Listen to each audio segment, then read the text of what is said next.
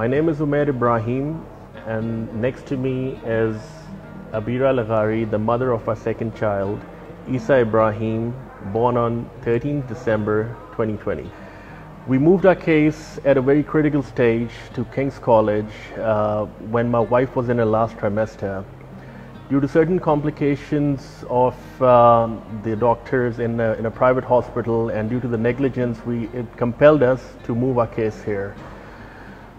It was initially uh, tough. We didn't know what to do. Uh, one of our cousins who recommended us Dr. Gowri.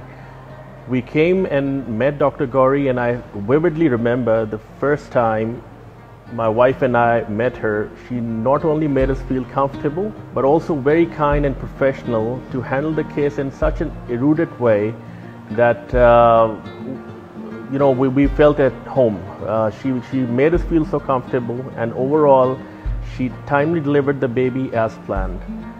We would highly suggest uh, anybody who's going through a traumatic surgery or any complications, just come and see Dr. Gowri first. Uh, you'll feel the difference because we've been to other hospitals and this, there's a remarkable difference you can uh, feel with Dr. Gowri. So the reason actually we moved to Dr. Gowri was because I started feeling uh, like my symptoms again. So I'm like I have high risk pregnancies. So my liver function becomes really high during my pregnancy and I lost my first child because of that. And of course, being a first time mother, I didn't know the symptoms. I didn't know when I should have informed my doctor, and my doctor unfortunately wasn't able to detect it. And uh, by the time we figured it out, I had already delivered, and um, we, we lost the baby because uh, so with liver function, the one thing that happens is, which Dr. Gowri explained to me, is it starts affecting the baby's heart, and it doesn't really affect the mother, but it is a very very high risk factor for the baby. So it needs to be detected really really early on, and the the baby needs to be delivered preterm. So not being aware of that, we did deliver our first baby full term, and he unfortunately, because of that, con- survives, of course, just the trauma of losing the first child.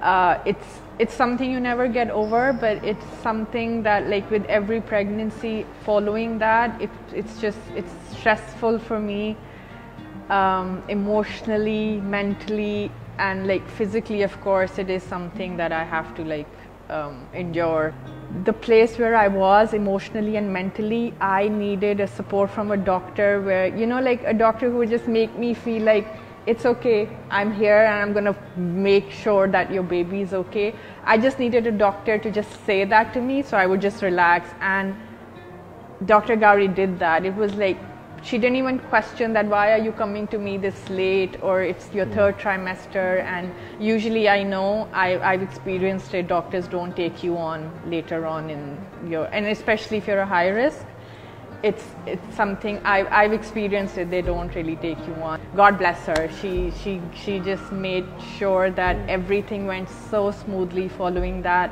Uh, every scan, we were like told exactly how the baby was, if the blood flow was good, if there was something she was concerned about, if she needed to see me again. And you know, like if a doctor like sort of tells you, I might need to see you after two days, you do sort of like panic, like why? And then she would always explain it to me that you don't need to worry, it's just that these are a few tests I would like to run just for my own satisfaction. So just knowing that a doctor was like like I actually felt like I was the only patient. Like she had no other patient other than me.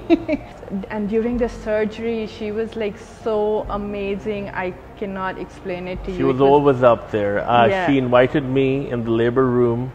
Everybody started dancing. Some yeah, uh, one yeah. of the doctors uh, he started uh, playing the music, and just to like, lighten up the lighten board. Up the mood so it was yeah. like uh, a very homely sort of yeah, a feeling. So I was in, like in tears before that because like I'm going into surgery and it's COVID and and everyone was like, please stop crying, we'll start crying. so it was like you know they they made sure that like I I was relaxed.